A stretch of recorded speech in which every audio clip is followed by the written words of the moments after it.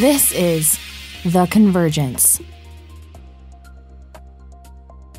Hey, everybody, welcome back to another episode of The Convergence, where every week we talk about Web 3.0 and sustainability and ask the question Could Web 3.0 save the world? Kyle, we've got you back. This is great. We had just such a great conversation about everything that you're doing with frictionless capital through Raise.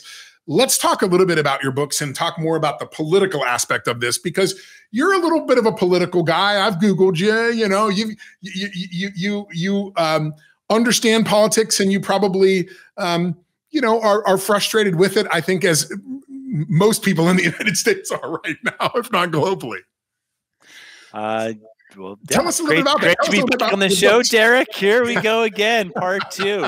Um, part two. Yeah, so, this one might be more controversial though, and that's okay.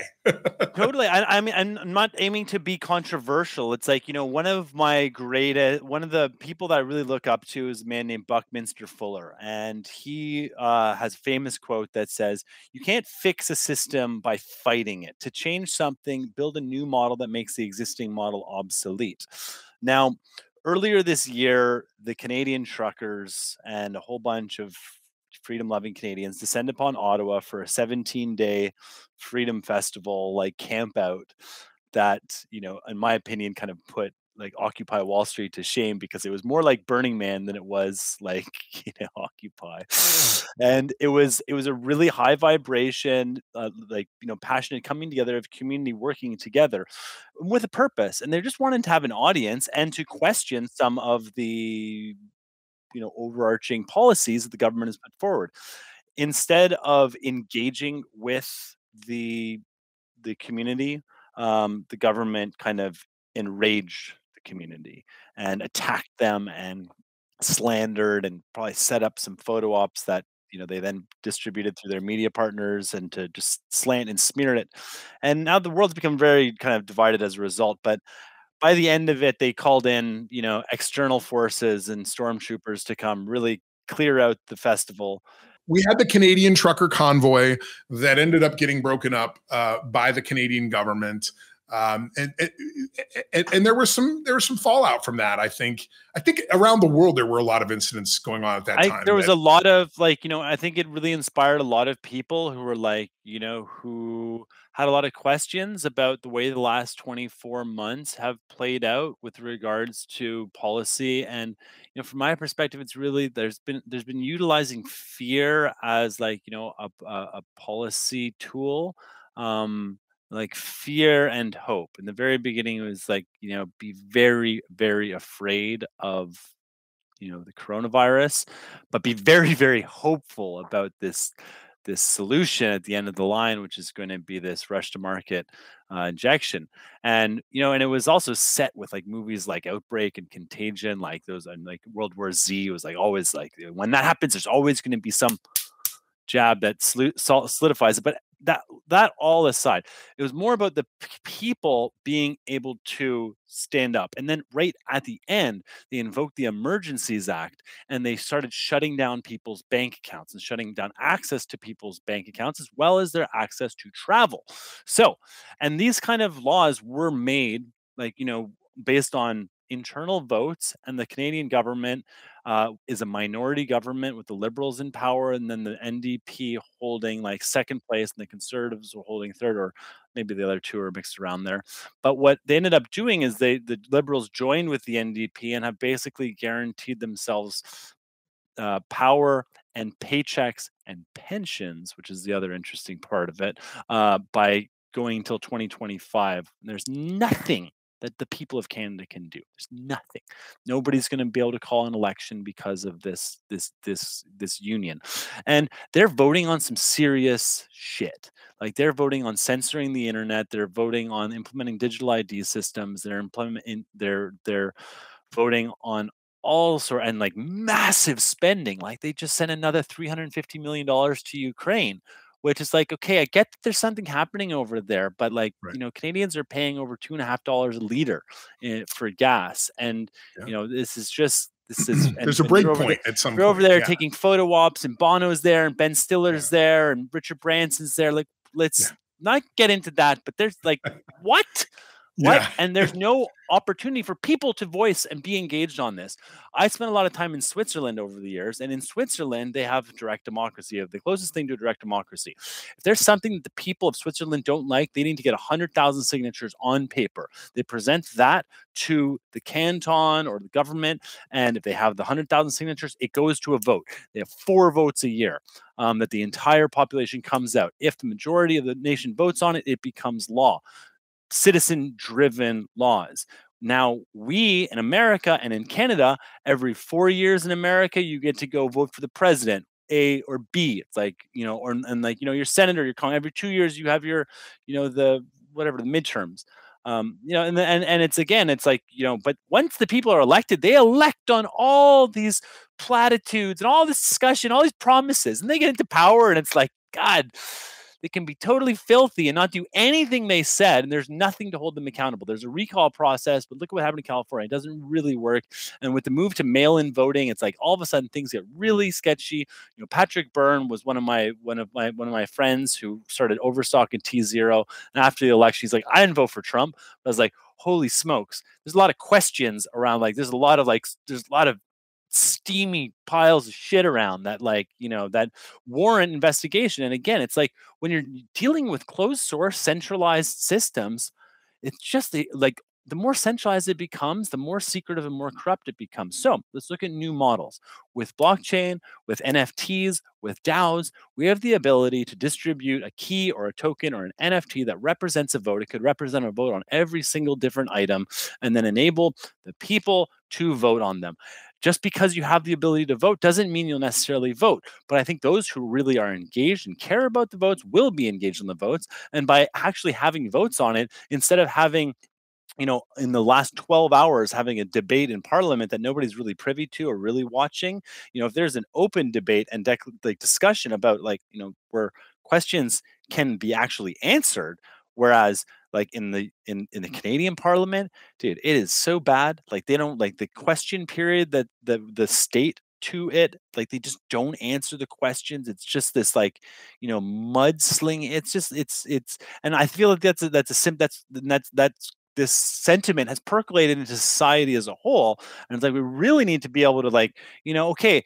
take the colors out of this take like you know your feelings out of this and let's get down to like you know what is written in these words and what this means and have an actual discussion about you know the legitimacy and the purpose of this.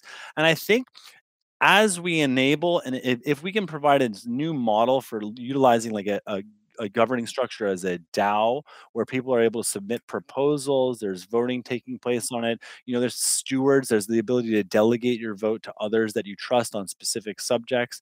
Um, we can have you know more effective voting, more often voting, more informed voting, um, and you know we can start like you know instead of just dealing in like you know these big word platitudes like you know like terrorism, national security, climate change, like abortion, um like you know they just they, they pick all these like or like covid and like you know whatever.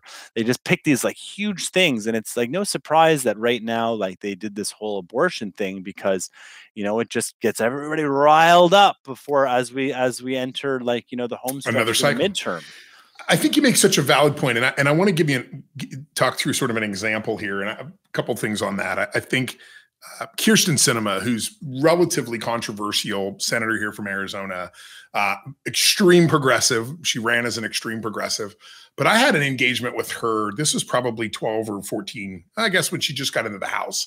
And I had a, a beef on something with a business that I was working on that was just, it was a sustainability business. And the law was just written in a way like it was intentionally trying to stop us from doing business. So we went to her as a junior Congress person and, and we had a conversation with her and her staff.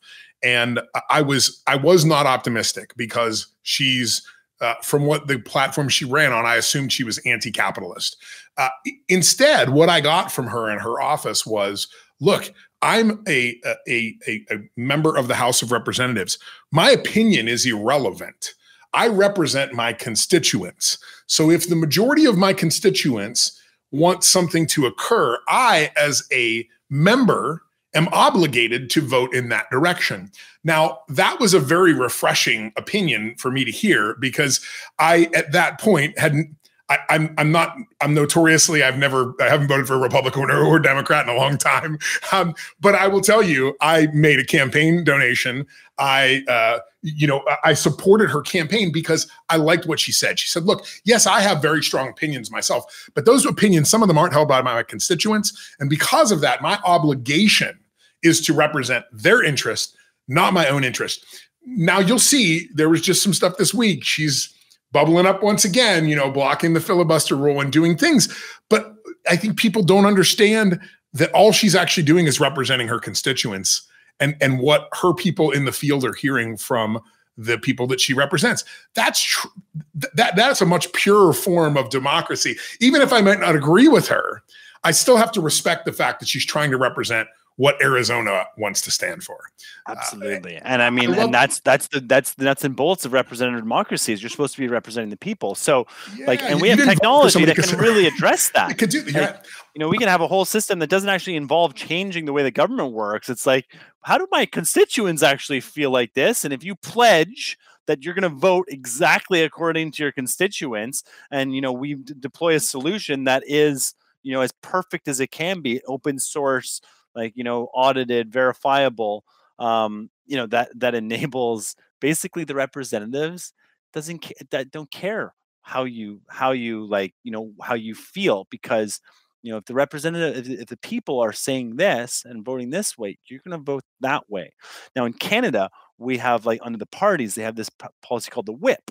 And so it doesn't matter what your constituents say if the party whips you you have to vote or you have to leave the party like that's it. Like you don't have a choice. Well, let's so be honest. The U.S. might not have that, but that is the case, right? I, am reading articles about Kyrsten, people saying that she she should be thrown out of the Democratic Party. You know, it's it's like because she doesn't align with what they want. She's she's aligning with their constituents.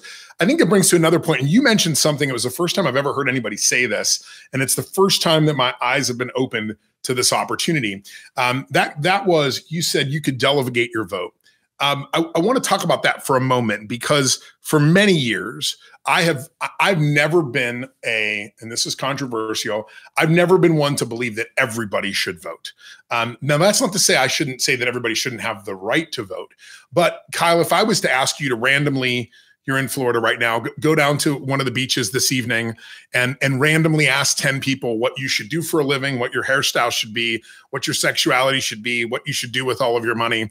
And and, and if you were obligated to whatever the uh, what what those 10 people decided on your behalf uh, that know nothing about you, right? Nothing about your interests or anything, that would sort of suck to be bound to that. But that is, in a lot of senses, what we do with a pure democracy is we just say, look, wh- whatever the average is, is what we want to be. I, I, disagree with that because, and, and, and my wife and I are really big on, you know, here in Arizona, we have to vote for all the judges, and there's always 60 referendums. And we will specifically go through each one and discuss it and determine what was our stance on it. And I'll tell you, if we don't understand it, I leave it blank. I don't care what the Republicans or Democrats told me. I don't understand it. For me to vote in that instance is do, doing a disservice as a citizen if I don't understand the topic. Yeah, so I love when vote, you said people delegate. are to vote on the on like you know how they like the sound of a name. like, yeah, or like, or, or a party picture. line. It's like, or come on, paragraph. yeah. Uh, so, so, allowing you to delegate your vote to an expert, essentially say, you know, when it comes to financial things you know, I, I got a 520 credit score. I'm going to delegate that to my brother-in-law who knows what he's doing when it comes to finance. I mean, that's an it, that's a revolutionary idea to actually be able to say I could I could uh, uh align my vote to an expert that I I, I, agree with as an expert. Uh, that's true representative democracy in that regard. You know, if this person's an expert, I trust their opinion. I'm going to align my vote behind them and give them the ability to cast that vote for me you're staking Whoa. your vote and you're you're basically staking your vote and you can unstake it at any time so as soon as they like you know they vote or they declare that they're going to vote one way on something you don't like it like you know you can unstake it obviously there's like you know this opens up some new gamified threats because you might like you know people would really like you know be harvesting you know delegation votes potentially be paying for it like you know we get especially when we're, when we're going up against an un, uh, when we're going up against an unlimited money um, like corporatocracy and and and like you know it's we just have to like think through those those things but really it's it's it's just that like delegated vote it's the same thing as representative democracy but it has this this ability to undelegate and also instead of you know electing one representative who's going to vote for you on everything like okay like you were a lawyer and now you're making healthcare decisions or you were like you know uh drama teacher and now you're the prime minister. Um, like yeah i mean i can see that. I love i love i mean you, are talking pure democracy there right? You, you really are talking about the ability for the voices of and, people and with and, and with that because but under pure democracy then there's then what happens if the everybody's like majority of people are like you know what? Let's let's kill all the mexicans like, you know, we voted for that. We, no, and so it's like, no, we can't have that. But I mean, the majority voted for it, like in that thing, or let's let's let's let's like like in that kind of extreme example. So it's like, you know, that's where the Constitution comes in, the Bill of Rights comes in, and honoring those documents, and like you know, having councils on top of the votes to make sure, like, does this? This is where the Supreme Court lies. This is where like the druids and the stewards lie to assure that like you know that they're they're that we're not like that type of vote never comes even. So I want to talk with you for a few moments about Evergreen Carbon Credits, one of the sponsors of this show. I started working with Evergreen when I was telling a friend of mine who's uh, involved with that company about my efforts to try to learn more about blockchain, NFTs, crypto, all the things in this space. And he uh, showed me Evergreen. Evergreen was a really unique solution. I've looked at carbon credits in the past. I've been in the sustainability industry for almost 15 years. I understood what they were. They were you were buying an offset to offset the carbon footprint that you or your company has. But I also understood the challenges with that.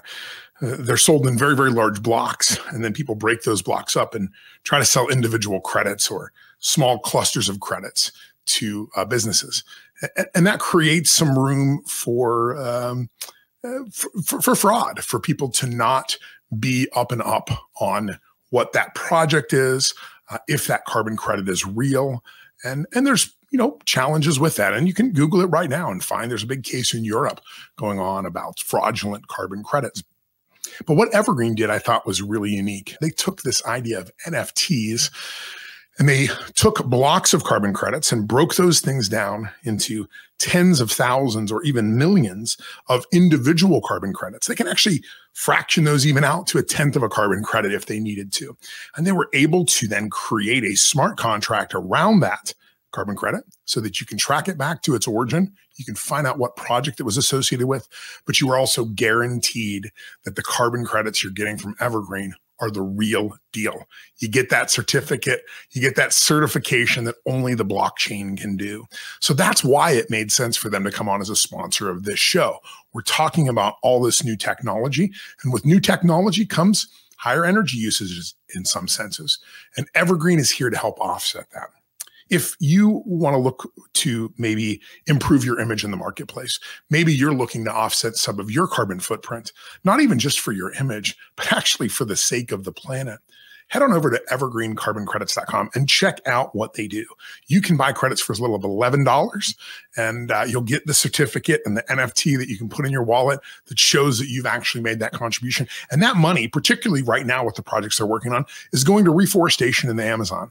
I think that's something we can all uh, really get behind, particularly when we understand that the the environment, the climate is, we're all connected to it. It doesn't matter if uh, we're putting off uh, emissions here in the US or, or if it's happening in Mexico. It all contributes to the same global problem. So why not be part of a global solution with Evergreen Carbon Credits? You know, it's a challenge here in the US right now. And I know this episode will probably be won't be out till late July, but you know, in early July, as we sit here with all these SCOTUS, you know, Supreme Court rulings coming down, um, I mean, a lot of this was predicted a long time ago. It, it isn't that the SCOTUS is ruling in one way or another. They're, they're actually all they're actually doing is saying the constitution prohibits us from speaking on this matter. And i think it's always been an argument about the roe v. Wade uh, that you know the 10th amendment specifically says if it's not listed in 1 through 9 the government has absolutely no ability to make law on it well, we've made a lot of law on stuff in the last. Oh, we made the 14, years. we made the 16. Right. Like, I mean, we and, and those at least have been ratified, but there's no place. You know, somebody said to me the other day, "What's our constitutional right for healthcare?" And I was like, "Oh, oh, oh no, no, no, no, it's not. There's no right that says that." So that doesn't mean that it shouldn't be something that we as a state or we as a community, you know, could create as a benefit but it just means that the federal government doesn't have the ability to participate in that. And I think, unfortunately, we are we're so disconnected from our democracy. We're so disconnected from the republic that you know I, I put some things on Facebook the other night and said, you know, it's a Tenth Amendment issue, and people were trying to argue with me about, well, it's women's right, and I'm like, that's not that's not the point at all. Like I'm not trying to make that point. Uh, the the point is that when it was passed in the first place, it actually was technically illegal. And all the federal government is saying is we're overruling our previous decision. Now, look, there's lots of things that should have occurred between, you know, now and then, but it didn't. so that just goes to show how broken the system really is. If it was that important, it should have been codified and ratified and well, gone through the process. And, and it's just interesting that like that's the one, and this is the timing that they decide to like, you know, overturn one on unconstitutional. It's like how about the Federal Reserve? Like totally unconstitutional. How about income tax? Most people don't realize the Federal Reserve is a private institution. No, they don't. And it's like I, I think, you know, that's that's illegal. That's that should be overturned. But that's not that's not going to achieve the ends of like you yeah. know getting people all fired up and angry at each other and more divided. I think the like, book is is it the Ghost of Jekyll Island? Uh, yeah, it's called Jekyll Island by Oh man, that book will mind melt you just about a lot of of things that you're just like, no, that can't, it can't be. And then you read stories from like World War One, and you're like, oh, who was the captain of that ship? Oh, whoa, wait, Winston Churchill. Like, how did all this go down? There's a lot of things in the question. And who are all the guests on the Titanic, too? Yeah, yeah, right, exactly. Of, like, like is... all the people who were opposed to the Federal Reserve found themselves on the Titanic, like forced onto it somehow. world's greatest. I mean, there's certainly coincidences in the oh world, but, but there's also, you know, uh, right place, wrong time, uh, kind kind of stuff. Uh, that's great. Let's talk a little bit about Canada in particular. So your your book, Canada, and again, I, I, apologize. We just met so recently. I haven't even had a chance to read it yet, other than just really reading in the reviews. And I love a lot of the reviews are you know talking about this sort of revolutionary idea. I mean, you have the you, the reviews on both your books are exceptional. The reviews on my books are good too, but not as good as yours. So I'm I'm gonna I'm gonna defer to you on talking a little bit about this. I mean, my books like they're like these. I, I wrote both these books the exponential fa- fashions, um, which is a whole nother topic for another another show.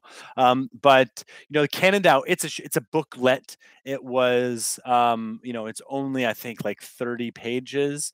Uh, you can listen to the whole thing on my YouTube channel. I I, I read the whole thing out. Just Kyle Kemper eleven eleven is my YouTube channel. Um, also in the and then unified wallets the other one not a huge book but it's like really to the point about the need for us to be in full control like your keys your coins um you know your keys your control uh, we need like you know we need to be in control of our digital identity our money and and uh you know and all of our like hold the rights to our different assets as well um, in a decentralized function and part of this is voting as well and so yeah the Canada is just you know highlighting specifically what's possible with liquid democracy how the time is now. It's not a blueprint for how it must be done. I don't believe that i can i'm in the position i don't really think that it's really any one person's like job to tell others how it must be done when we're talking something like you know if i don't know one of the founding fathers was jefferson was he a founding father?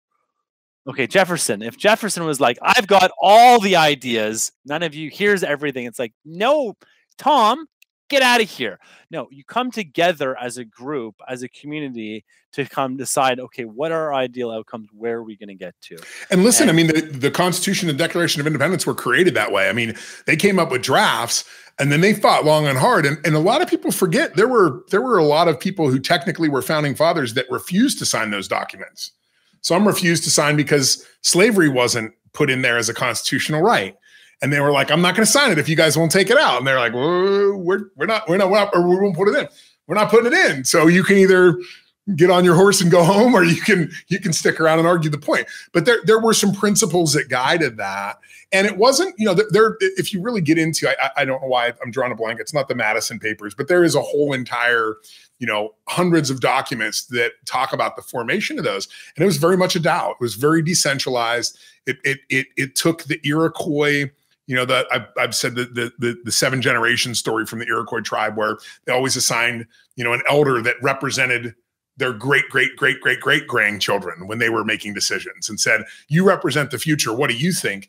They did a lot of that in that time. And i think that's why that those documents still have relevance but that doesn't mean that they are you know applicable to today. I think DAOs are the new future of this and and DAOs are going to need to be governed by constitutions, and they're going to need to have you know their own guiding principles and documents, and you know, and some of those need to be codified and be and be you know not a living document that can be you know altered based on you know the machine's will, um, you know, which I think is is critical.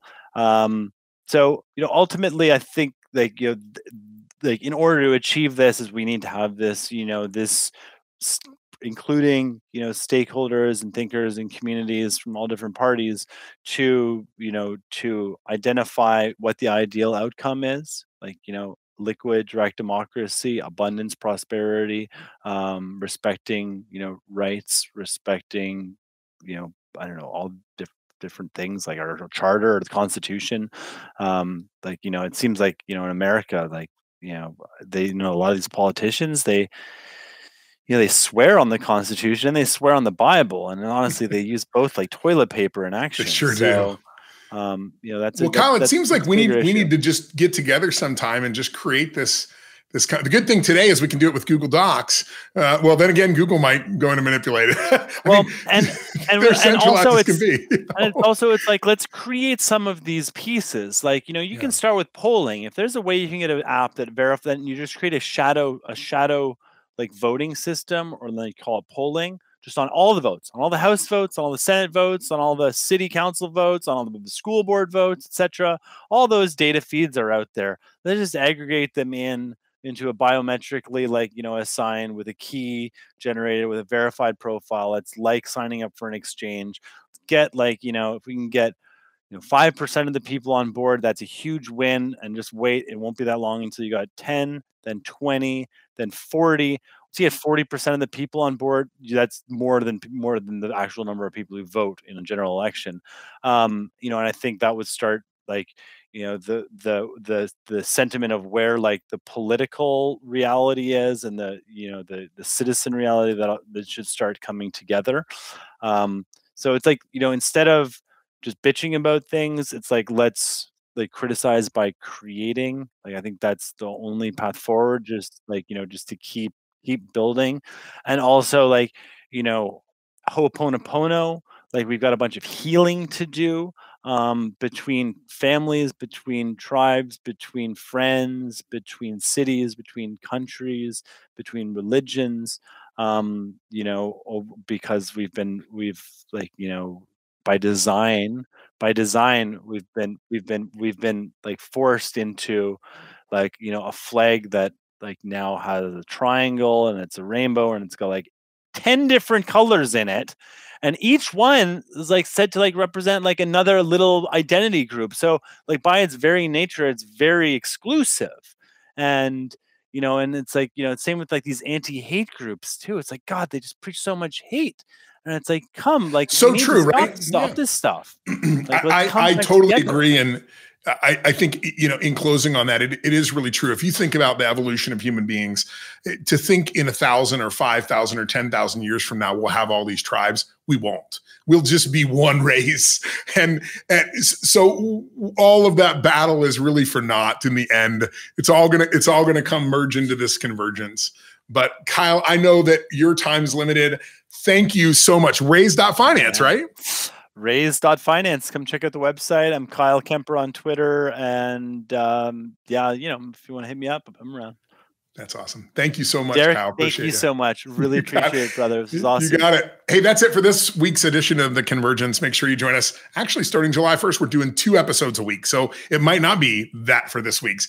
Depending upon when this falls out, it could be uh, this is the one, the first or second time this week. So thank you all for joining us. Hey, Kyle, thank you then. That was amazing. You are going to absolutely love Michael Moyo. I'm going to connect you guys via email here in a couple minutes. He, he like, you guys are talking the same language. He's just doing it with a suit on Wall Street. You know? So Perfect. he's he's that kind of guy. He just is, you, you, you, and he has this whole entire company, Apex Polling Exchange. I'm actually an investor in it, and it's all about power to the people, voting mechanisms. He and I are working on some political campaigns right now. So I, I know this is going to turn into something much larger. So thank you for being a part. We got a lot. It was great getting to know you. Yeah, totally. Derrick, such a pleasure, bro. Okay. Likewise. We'll talk to you soon. Thanks for listening to The Convergence. If you want more information about the topics you've heard here today, reach out to us at theconvergencepodcast.com.